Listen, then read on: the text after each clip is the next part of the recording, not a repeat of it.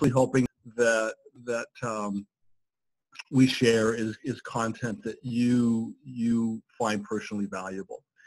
As as we discussed, what I'd like to share with you are some perspectives based on on my observations, my experiences, uh, the, the research uh, that I've been able to do, the leadership development opportunities that we've been able to do through the College of Business, uh, that reflects my thinking about what, what probably matters the most. And I would like to point out a really important uh, couple of thoughts to begin, first of all, as, as we go through this. The, the more that we study leadership, and this is actually in the field of leadership studies uh, a significant issue that, that is discussed quite often. Do we really understand leadership as well as we think we do?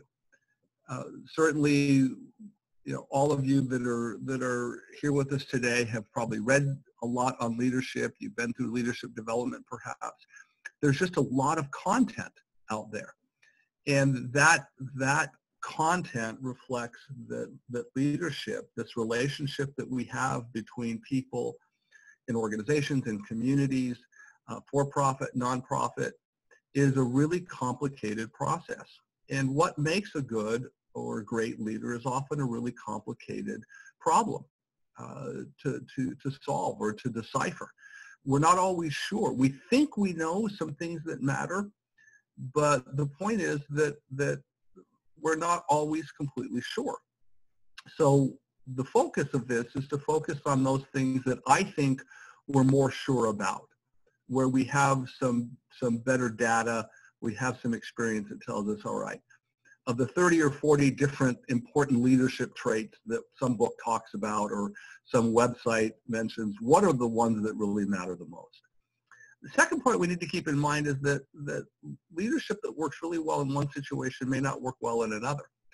And that points to a couple issues. One, it reminds us that leadership is complicated. Two, it reminds you that one of the most important things you can learn to be, which is our, our final point that we'll make today, is self-aware. And being self-aware and recognizing how do I adapt my behavior to be more effective. Because what may work well with one person or one project, one area may not work in other places and you may need to adapt. And, and that's why we focus or, or I think self-awareness is a really important part of effective leadership. Our third, third point before we begin is that, that why people choose to follow, and follow is in quotes indicating that that's kind of a difficult word to use when we talk about leadership, but why people participate in organizations or teams or groups do what the leader asks them to do may not always be directed to, to directly related to leadership behavior and style. It may be just the project is really interesting. It may be that, that I'm really ambitious and I want to move up, so I'm going to work really hard independent of how my leader behaves. So why we as followers engage in our followership behaviors is often complex and hard to decipher. The last point that, that of the four points on this slide that I think is the most critical for all of you is, is what we call equifinality, meaning that there are, there are, in many cases, many possible ways to reach the same end. In other words, we talk a lot about, you know, what great leadership is. And sometimes we reach a conclusion that we all have to be the same in order to be an effective leader. I certainly think, and what we will discuss today, I think there are some key foundational principles that are really important. But it doesn't mean that everyone has to behave exactly the same way. There are lots of different ways to be an effective leader. Lots of nuance, uh, I suppose is, a, is an appropriate word there. So you don't always have to be exactly like somebody else in order to be a good leader. You can be true to who you are. Uh, as long as I think we adhere to somewhat some of those basic foundational issues are. What are those? I would like to call your attention to this, this uh, internet social uh, media acronym in my humble opinion, and it, it, that's legitimate. That, that's not self-deprecation. Um, I, I, do have experience. I've been doing this for quite a while. i I do research in leadership. I've been teaching leadership. I've, I've been lucky enough to be involved in leadership development in a number of organizations professionally over the years. But this is still one person's opinion. And there are lots of different really valid opinions about what matters in leadership. And I, so I, I do want to make clear that, that you could ask somebody else uh, in a similar position and you might get a, a different list of five things. That's, that reflects the complexity, the difficulty of leadership.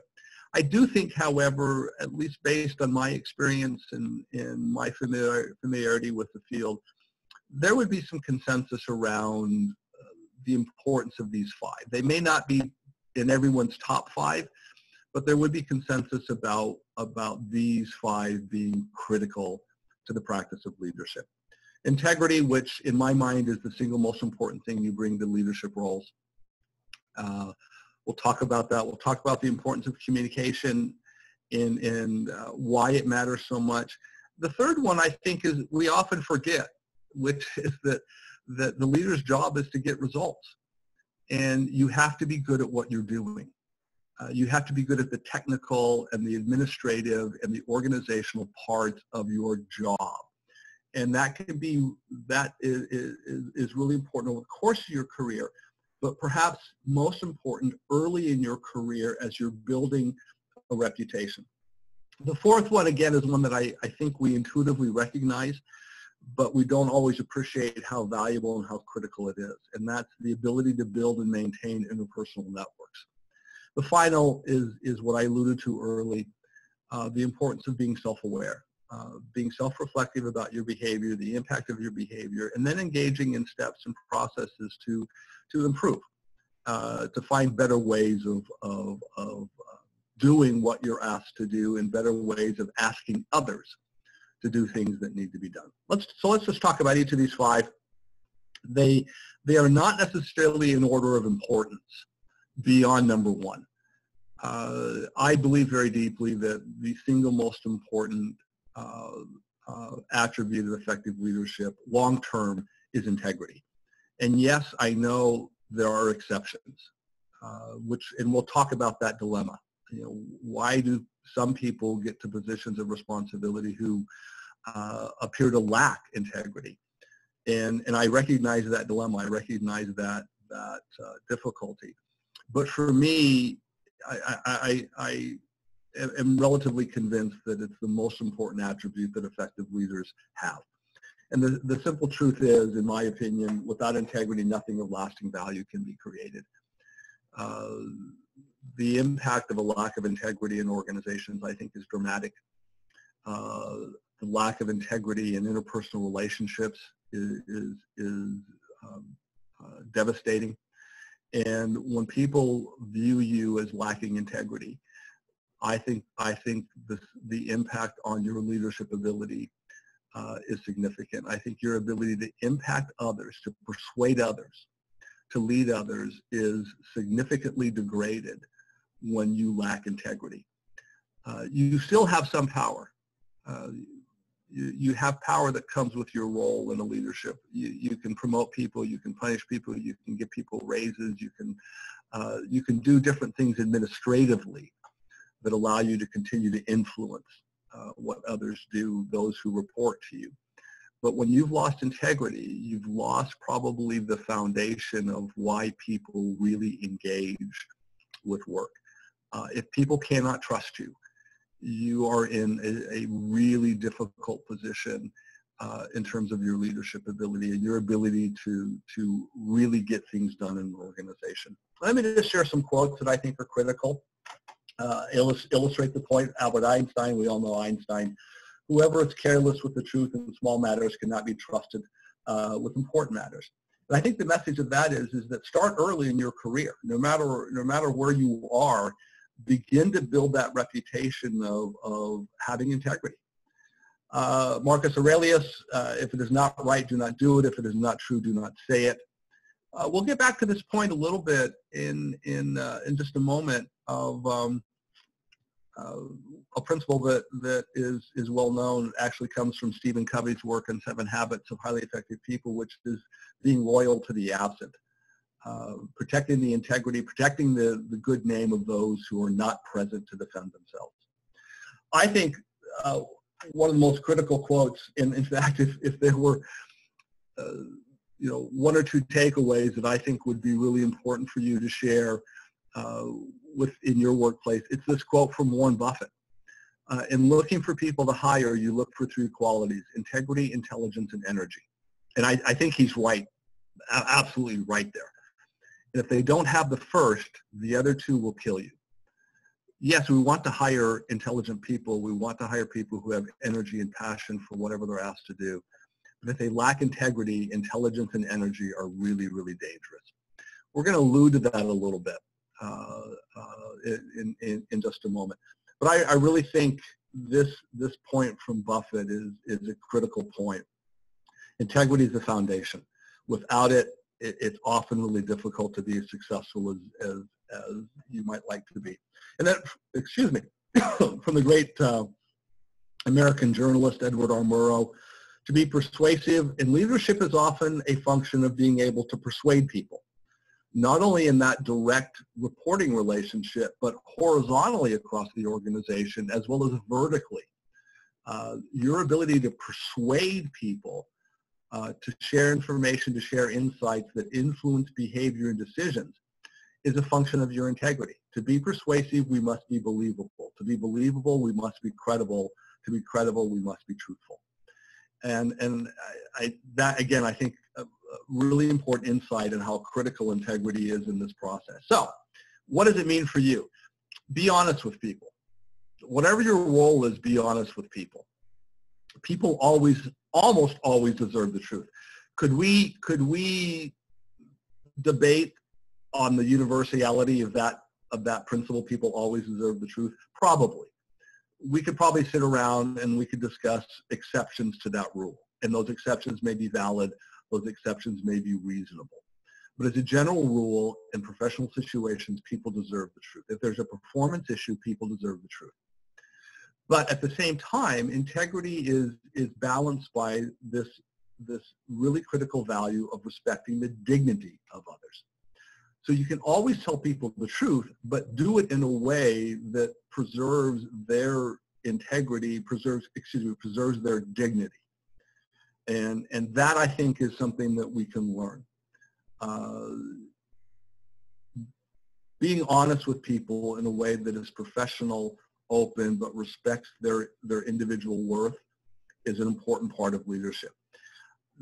Next point, keep your commitments really carefully and, and or make your commitments really careful, carefully, but when you when you make them, keep them.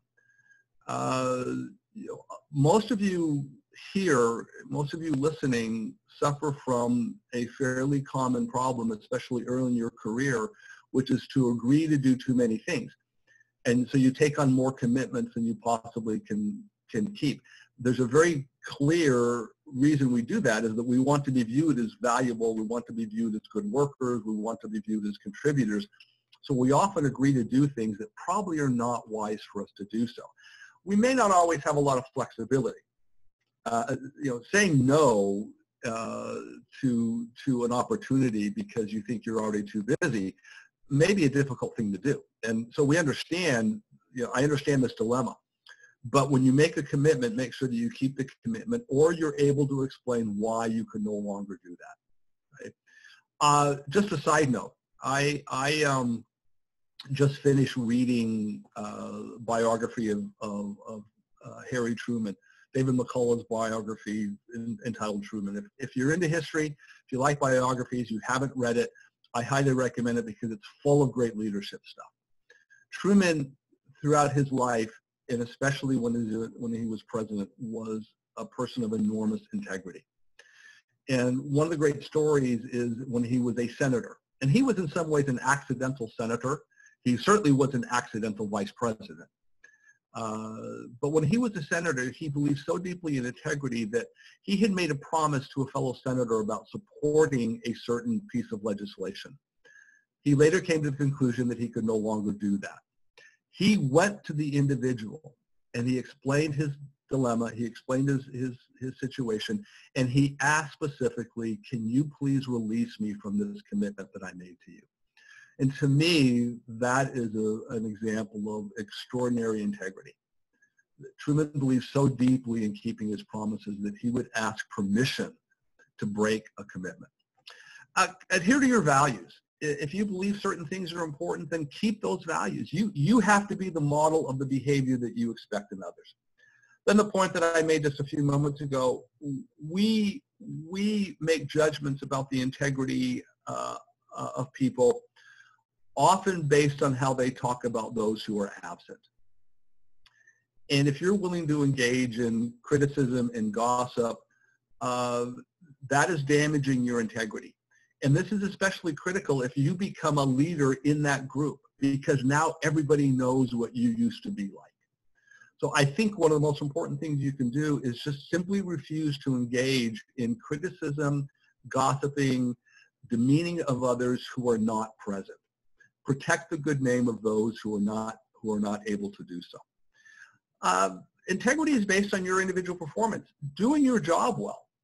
What I've tried to teach my students over the years, uh, and increasingly I think they, they need to be reminded of this, is doing the little things right in your job are, are really important, is, is really important because it's developing this perspective that you can be trusted you're responsible, you have integrity, you're doing what, we're, what you're being asked to do, and you're doing it well.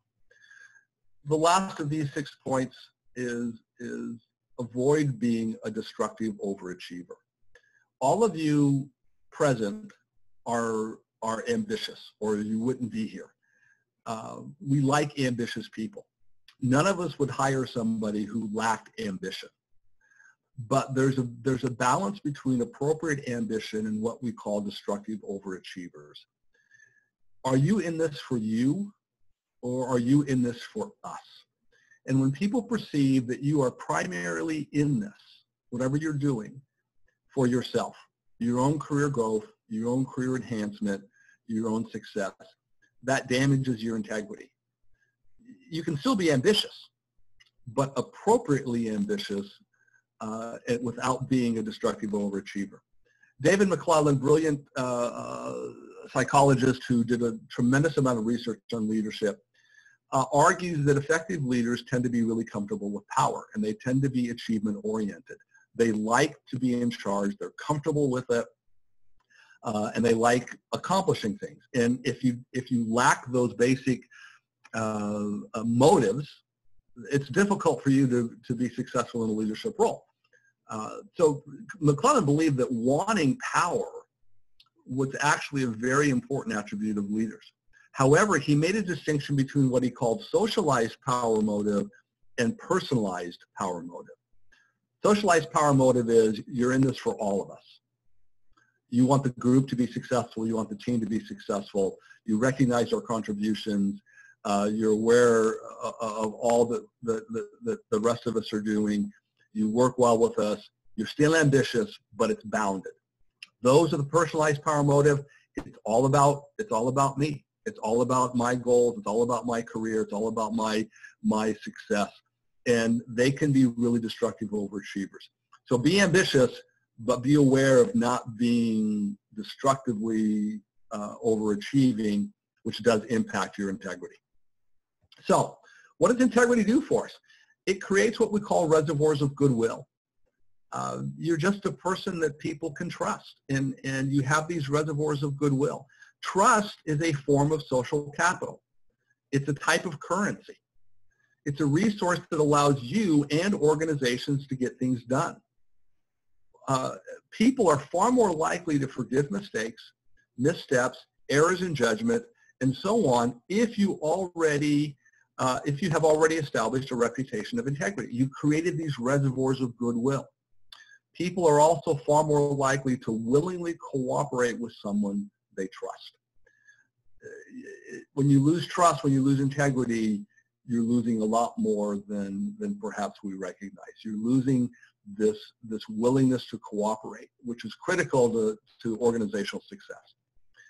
What about the, ex, the, the exceptions? Yes, Sometimes people, individuals who lack integrity ascend to positions of responsibility in organizations. And all I can answer to that is selection processes in organizations are not perfect. and people are often rewarded for short-term results. Individual performance, individual results, and individual ability can sometimes overshadow the damage that a lack of integrity has or will cause. I acknowledge those exceptions, but I think the last point is the most valid point. We all realize it just shouldn't happen that way. Point number two of our list of five things is, is communication. And I'll start with what I think is this, these two, this most critical point. People cannot or they will not act on a message that first they do not understand or second does not create emotional engagement. Which means this, the only message that matters is the message that's received.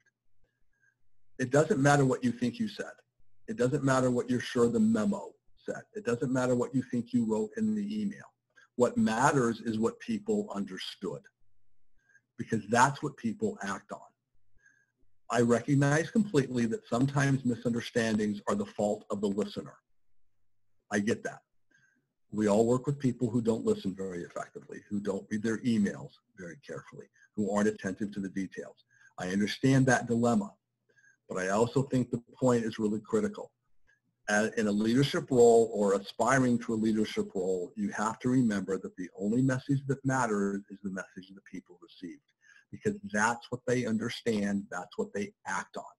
This means in the leadership role, you have to really be attentive to developing clear, logical, and professional speaking and writing styles.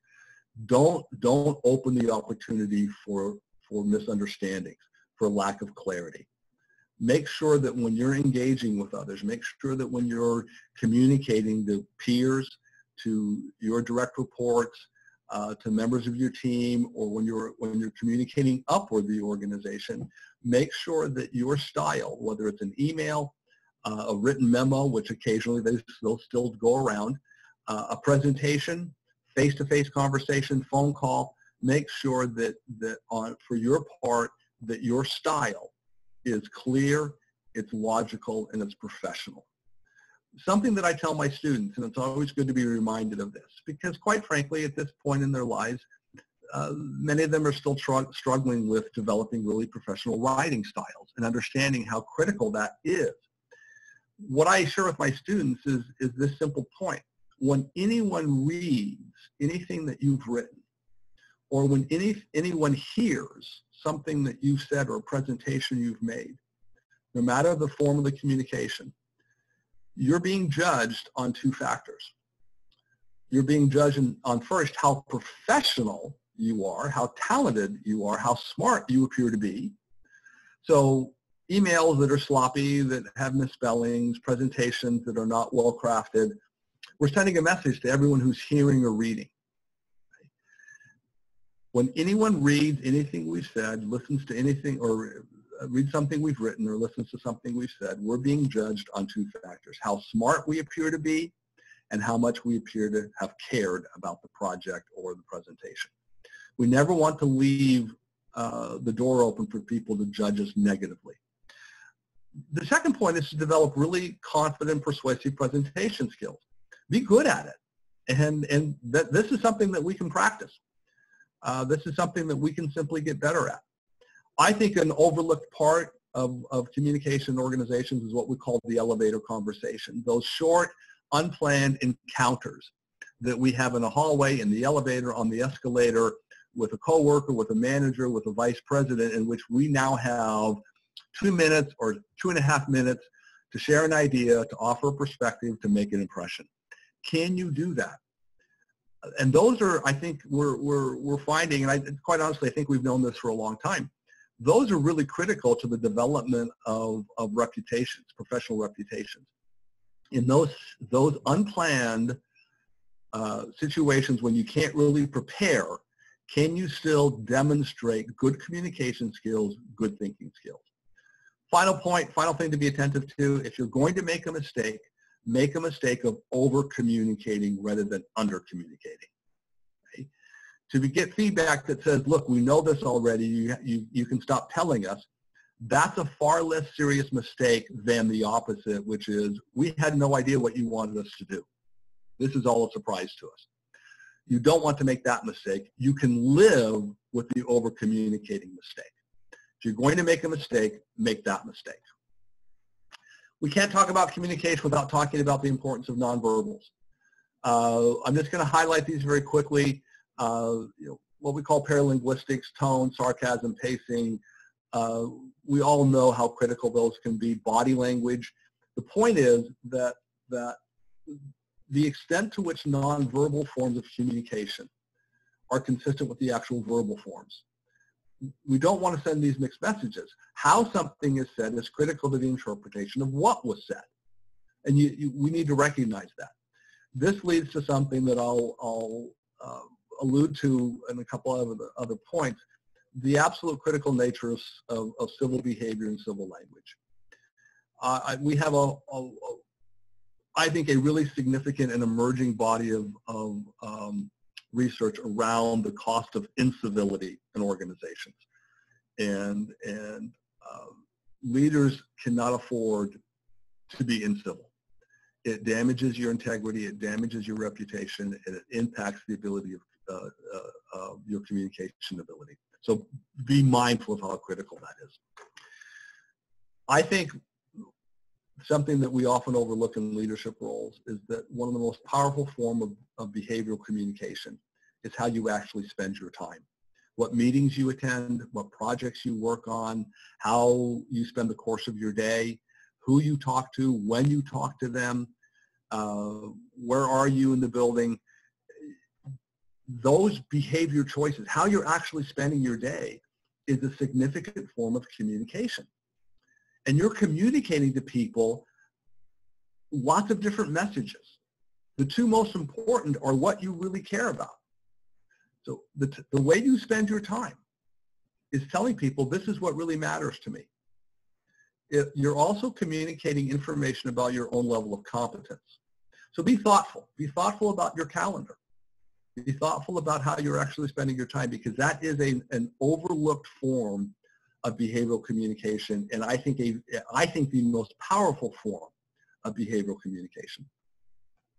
Third on our list is is uh, I think you know self-evident, but but sometimes overlooked, which is that to, to be an effective leader and especially to move up in leadership roles and in, in, uh, opportunities, you need to demonstrate competence. The job of a leader is to get results, to serve clients, to get a product out the door, to, to uh, uh, increase sales, whatever the responsibility is, your job as a, as a leader uh, in a leadership role, team leadership, group leadership, division, department, whatever it happens to be, is to get results. And you need to be able to demonstrate your competence. You probably don't need to be reminded of this. But in, just in case you do, you do need to be really good at your job. Uh, that that's just it's going to have such an impact. People are complicated. Professional relationships are really complicated. Why we like or dislike someone may also be complicated, right? Just because humans really are complicated. But of the many, many behavioral traits that explain why we have positive or negative impressions of others, why we like or dislike people, I think the research suggests that there are two that are most critical.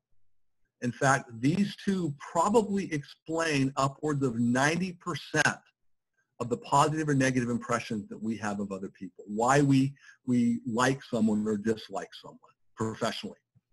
Those two are warmth and competence.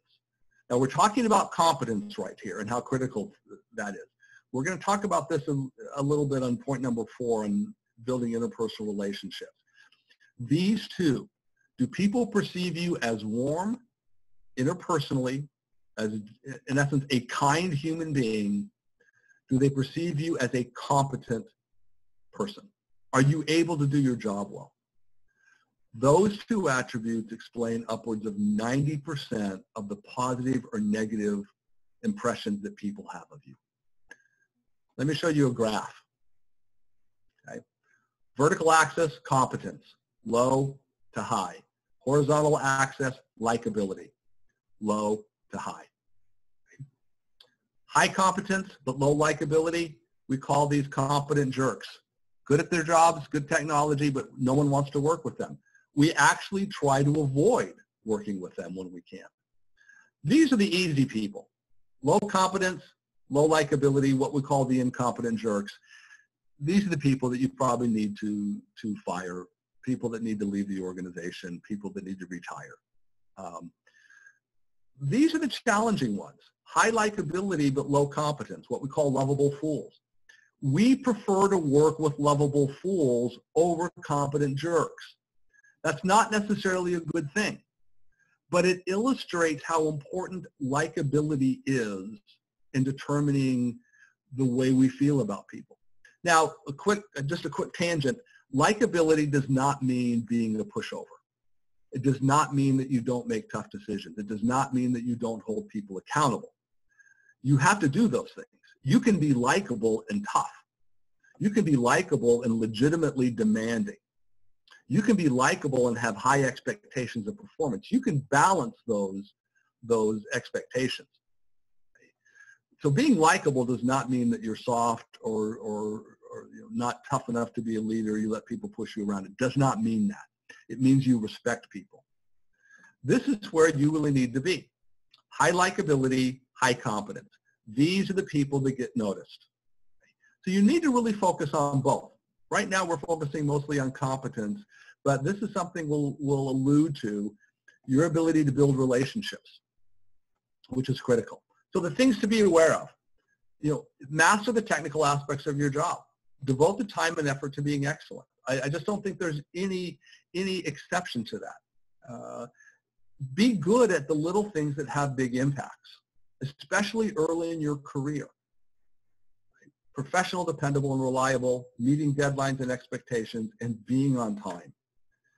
It, those little things, I think, have big impacts over the course of your career. I make a distinction between what, what I call the getting noticed and the moving up getting noticed includes kind of basic interpersonal skills. Do you get along with others? Do you communicate effectively? Uh, you good to work with? Do you have, you know, are, are your, your specific technical and functional skills good? Can you, can you do your job well? That gets you noticed. So that allows you to build awareness. Hey, this is somebody we like. This is somebody that has potential. But to move up in an organization, we're talking about different types of competencies. Uh, this one we're going to talk about the interpersonal relationships, which are often what we call boundary spanning roles. Uh, they cross a, a, an organizational boundary, department, a division boundary of some kind, or they, they, they, they span the organizational boundary itself. Problem solving, decision making, uh, these are the skills that really allow you to move up to upper echelons in organizations. And both are really critical in terms of your competence. So work continually to remember or to improve your thinking and analytical skills. Do you remember what Warren Buffett said, that early quote? You want people with integrity, intelligence, and energy. There are a few things that can replace just being really good at your job, being a, an important contributor, contributing to the solving of difficult organizational problems. Find ways to do that those are the individuals that get additional opportunities. Those are the individuals that get highlighted or and tabbed as high potential leaders, people going forward. So some suggestions, you know, read a lot, go to conferences, talk to others, create personal scenarios. Uh, you know, what would I do if, or how would I solve X? Just work on developing that ability to really contribute. Take advantage of developmental opportunities. Uh, ask for you know, appropriate stretch assignments and projects. Uh, you know, be careful, uh, but but you know, take on opportunities to grow. Think and identify current organizational issues and challenges, and, and develop plans to address them. Being appropriately proactive. I had an opportunity a number of years ago to sit down with a with a, a CEO of a major organization uh, somebody that I really admired. And it was a part of a project we were working on. And I asked him a question. I said, how did you learn to be a leader? What really, what really allows you to grow and develop? And that's the quote that he said. He said, I learned very early in my career when I saw a hole, I filled it. In other words, when he solved when he saw a problem, he found a way to solve the problem. And he, he did that professionally within the context of responsi- his responsibilities. But that, I, I've never lost that impression When you see a hole, fill it. When you see a problem, when you see an opportunity, be proactive. But you always have to be aware of not doing your manager's job and redesigning the jobs of other people. So there's some sophistication that you need to have here. But I, I think the advice is really sound. When you see a hole, fill it. Demonstrate your competence. Number four on our list is developing and maintaining strong interpersonal networks. What you know and what you can do is vital. But who you know and the nature of the relationships you build with others is also vital. Uh, we, we call these creating networks of mutually beneficial relationships. This is not being a suck-up. This is not being a brown noser. This is not being political. This is simply recognizing that building strong relationships is really critical to your career success. With, with, thanks to Dr. Yongmei Liu, who is a colleague of mine in the department, uh, this is content from her. I'm just going to read it to you because I think it's really critical. In today's organizations, individuals increasingly have to collaborate with each other, and many organizations are becoming less hierarchical. That means not only do employees have to rely on others to get their goals accomplished, but they have to be able to get others' assistance without formal authority. Because of the increasing interdependence among employees and their general lack of formal authority over one another, those who have strong interpersonal networks are at an incredible advantage. Individuals who understand others' intentions and desires, influence others' thoughts and actions skillfully, and show a sense of sincerity and trustworthiness are able to motivate and inspire. And this is this next line is the most critical line from these two quotes. They also position themselves well in social networks and organizations, which help them quickly and accurately locate information and resources they need to get things done. Because of this, they often outperform others. And when individual intentions are not personal, but organizational gain, the entire organization benefits. Remember our earlier comment about personalized power versus socialized power motive? That's the same point. When you are skilled interpersonally and you're building these strong networks of people throughout the organization, throughout the industry, and their relationships built on trustworthiness and integrity, sincerity, you're building really productive relationships that help you get access to information, resources that allow you to get things done. And when the interest is for the organization well-being, everyone wins, everyone benefits. So what this means, get involved as much as you can. Projects, cross-functional teams, committees and working groups. Make yourself available for visible projects and initiatives. Career success is not a function of performance. Career success is a function of visibility times performance. You can be a great performer, but if nobody knows it, it does little for your career success. If you're a great performer and it's visible, that's what's really going to lead to career success. And so if you have aspirations to move up, you need to think about getting yourself in visible positions appropriately. Remember, socialized power motive, not personalized power motive.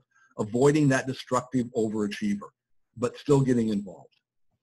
Build your credibility. Do good work. You know, again, I share with my students, good enough generally isn't in a lot of cases. You have to demonstrate integrity. Back to that key point. You have to be honest, dependable, reliable, authentic, and sincere, civil, gracious, kind, and humble. Understand and appreciate the insights, needs, and perspectives of others. Those approaches allow you to develop that warmth that we talked about earlier. Why people like you, why they trust you.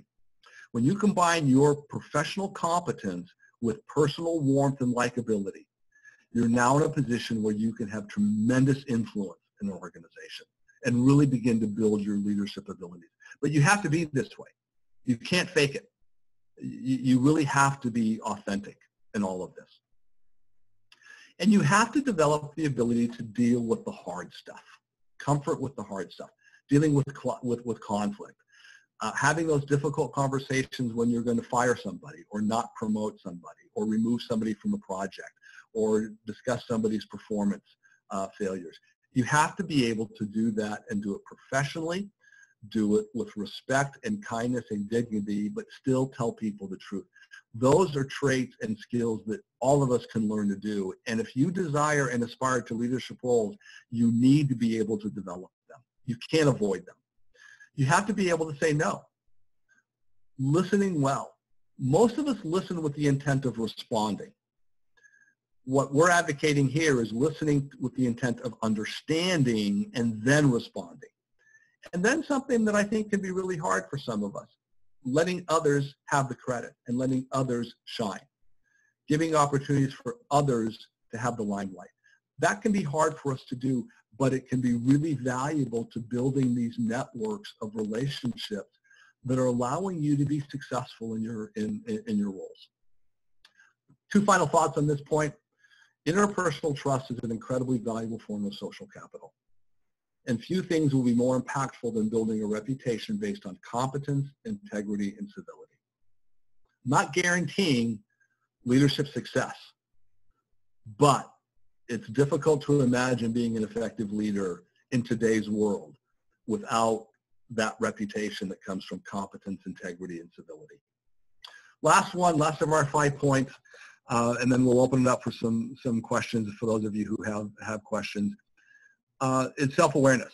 And, and I, I believe my perspective is that effective leaders almost always uh, are almost always highly and appropriately self-aware. They're thoughtful about the impact that they have. Self-awareness is not debasement. It's not extreme self-deprecation. Now, a little self a little self-deprecation can be valuable. It really can be useful. Uh, it creates humanness, it creates closeness, it breaks down barriers, uh, and it tells people, hey, I know that I screwed up here. Uh, I'm aware of it. Uh, too much is harmful. Uh, we like leaders that are confident. Too much self-deprecation causes confidence to wane. Uh, self-awareness is not a lack of confidence or courage. And we all know that leaders need to be courageous because they have to often make very tough decisions. Leaders need to be confident so they make decisions. I mean, back to our, our third point, which is your job is to get results. That means you have to solve problems. You have to make decisions. If you lack confidence or courage, those are going to be really difficult for you to do. Self-awareness is not a lack of confidence or courage. In fact, it's a demonstration of confidence and courage that you're able to reflect. Self-awareness is, uh, my definition is this, it's a mature judgment of the impact of our behavior on others our individual strengths and weaknesses, and mistakes that we have made in decision making or problem solving, along with the willingness to engage in appropriate behavior change, learning from our mistakes, and implementing corrective action. So this means my, my first suggestion is engage in postmortems, both the successes and failures. What was your contribution? What did you do right or wrong? What can you learn from that? What changes in your approach would you make uh, would make a difference going forward? What development would be appropriate? Find mentors and role models, people that you admire. Learn to ask for and accept feedback. I wish we could take 20 minutes to talk about how critical this is, but you need to be, you need to be okay about asking for feedback. Build in self-reflection as a part of your day. You know, end of day reflection. What went well? What can I learn? Make notes. Uh, I recommend to people lots to keep a journal about their leadership experiences helps you learn, helps you be thoughtful and reflective. Set clear and measurable goals when you need to change. Individual behavior change can be awfully hard and takes time. But most importantly, accept the fact that you're not perfect. No matter how great of a leader you are, someone is not going to like you.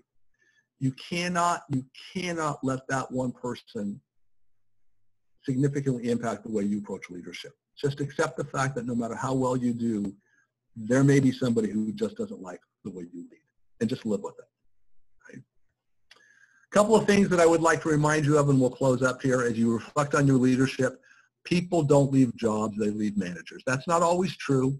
People often leave for opportunities, career changes, uh, uh, you know, spouse, spouse movements, dual career issues. But it's true enough that you need to, we need to remind ourselves. A great manager can make a miserable job and situation bearable. A poor manager can ruin a great job. It, it matters a lot what you do.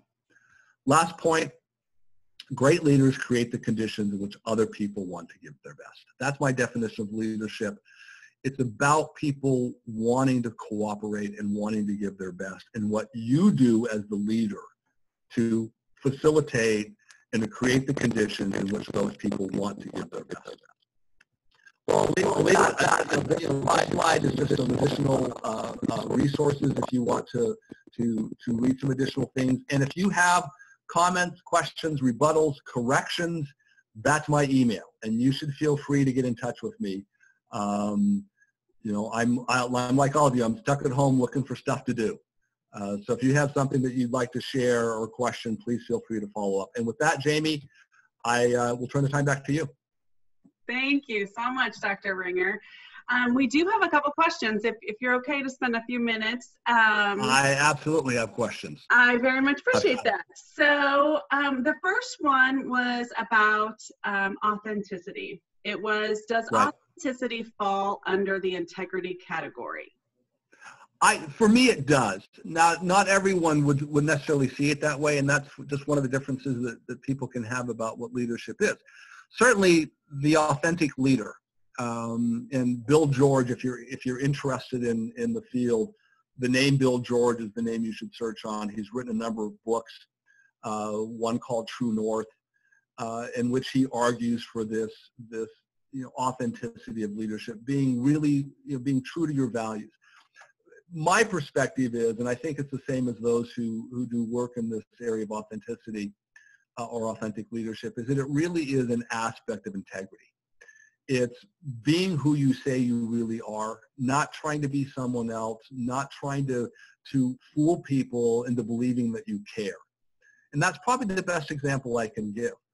Uh, we in leadership roles, we are we are really sensitive to what people feel about it. Most of us are. There are some of us who just don't care, uh, but that's a fairly small number. But most of us care deeply about the way we're treated by those that we report to, by our managers, by our leaders. We, we care about that. We care about listening. We care about respect. We care about opportunities and growth.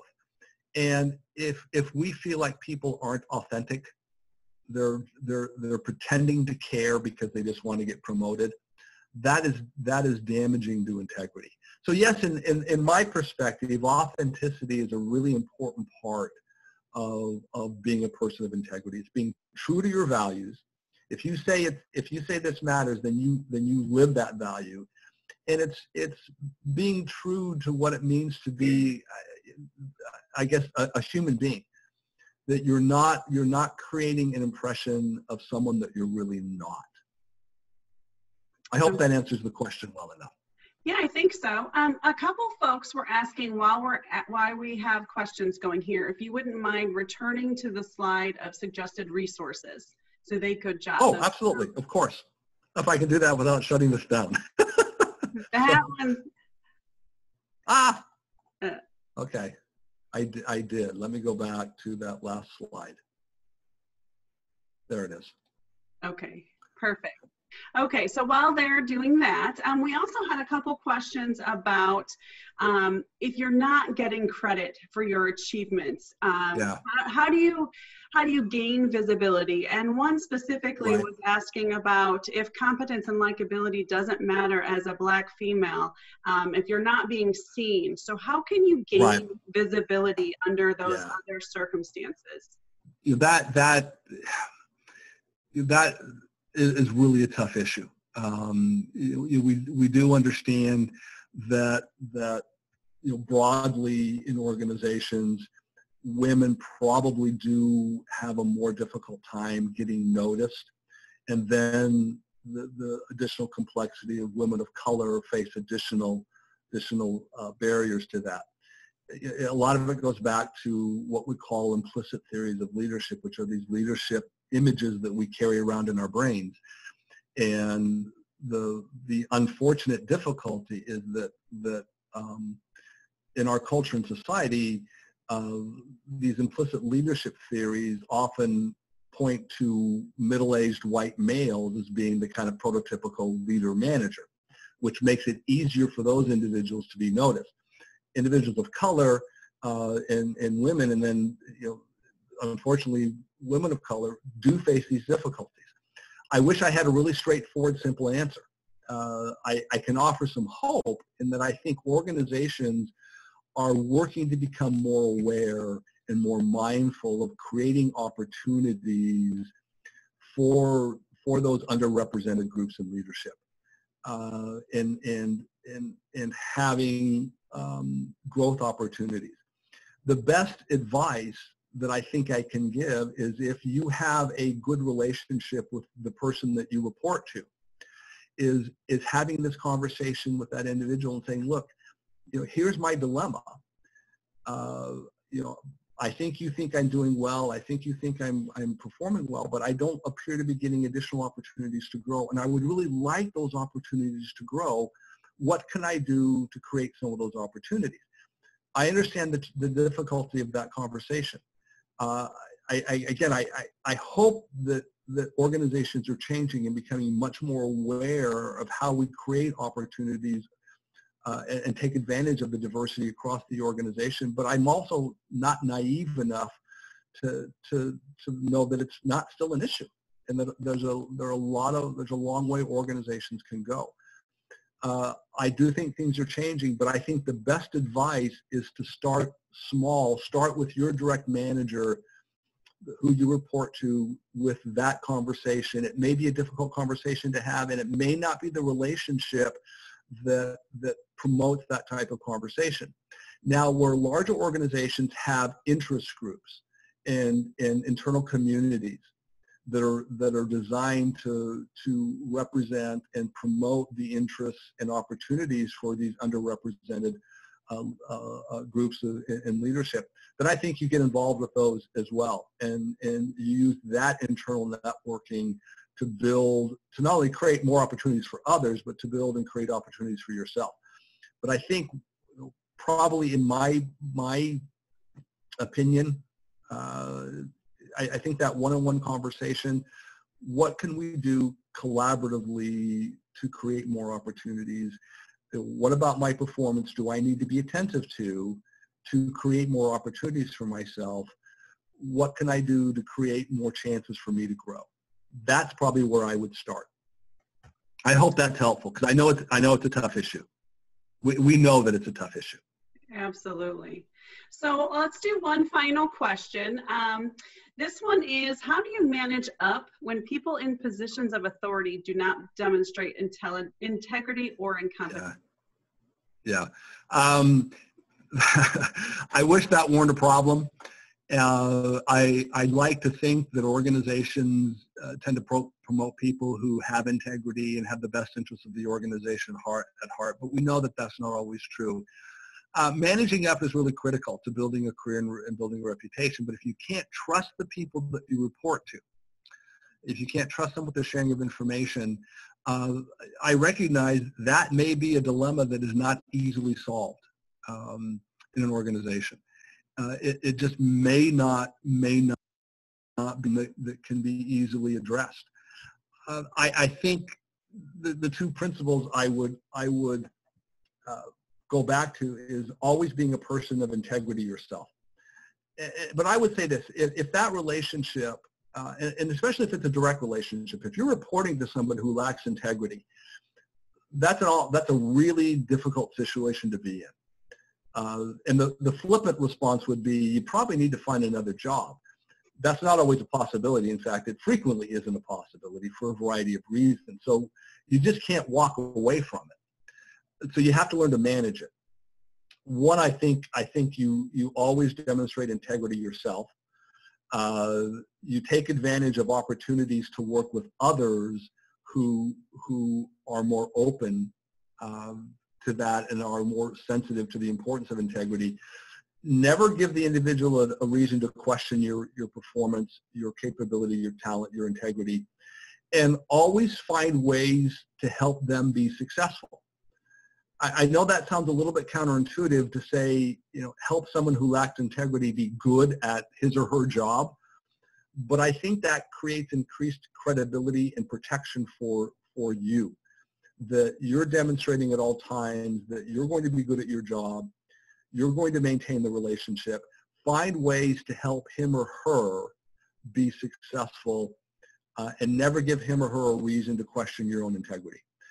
Then I do think, uh, you know, absent an, an, an opportunity to share information, A lot of organizations have mechanisms built in in terms of upward performance appraisals or, or lateral performance appraisals, horizontal 360 types of performance appraisals, where you can provide feedback about the performance of, of someone that you report to. If that's available, I think you owe it to the organization to tell the truth. This is a person who does not keep his promises. This is the person who takes advantage of, of, of, of his or her staff. I think those things have to be shared. Where those opportunities aren't available, I think it's a much more difficult situation. I think you have to protect yourself by not giving that individual any reason to doubt you and also look for our other opportunities. You know, as, as one of the last slides we mentioned, a, a, a bad manager can ruin a great job. And, and working with or for somebody who lacks integrity makes your job really difficult. I realize, Jamie, that's not a great answer because I don't, but I don't think there's a technique. I don't think there's a, a switch we can flip and say, okay, if you do this, you'll solve the problem.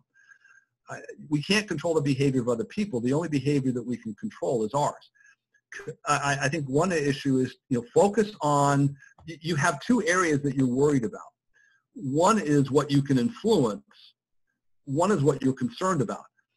I can't really influence my manager's lack of integrity. I'm worried about it, but I can't always influence it because I can't influence his or her behavior. What I can, what I can influence, my circle of influence is what I do, what my behavior is, how I influence the organization for good. So I think that's where you have to focus is what can I do to ensure that I'm a person of integrity, that I'm always open and honest, and that I'm protecting myself both interpersonally and professionally. As you do that, I think what happens is your ability to influence things grows to where you then can have a somewhat of an impact. But it, it, it, it's a situation that there probably isn't a really simple, straightforward answer to. I wish there was, but there's not. I think we all do. Well, there, a last question, if you don't mind, Dr. Ringer, switching back to the slide with your email address. There was a few sure. people who asked about sharing of slides. Um, and Absolutely. I did and I did reply um, that they, if I would bring it up to you at the end here, if it, can they reach out to you if they're interested? Absolutely, in absolutely. Um, I'll send them to you as well, Jamie. So okay. if somebody approaches you, you have them. But Perfect. absolutely, positively, if you want these, there's nothing proprietary. Um, I've borrowed uh, from from you know what's what's the great line about artists? Great artists steal ideas from others. Um, you know, I borrowed liberally from from lots of great thinkers in, in putting this together, and so there's nothing in here that I don't have any hesitancy in sharing at all. Wonderful. So this has also been recorded, so we will share out um, a, a, link with where this will be recorded, so folks can easily share that as well. Um, but I got a haircut. we had lots of people um, saying thank you and how much they appreciate it. And on behalf of the Alumni Association, we definitely want to thank Dr. Ringer for sharing his expertise with us this afternoon. Um, but again, feel free to reach out to either myself, um, the Alumni Association, or Dr. Ringer if anybody else has any questions. With that, thank you, Dr. Ringer, and everybody have a great well, day. Thank you. Thank you very much. I appreciate it.